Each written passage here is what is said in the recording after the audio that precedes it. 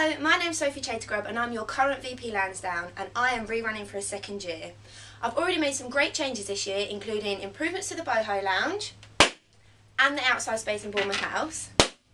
I've secured and designed a brand new student lounge which will be open at the end of Easter.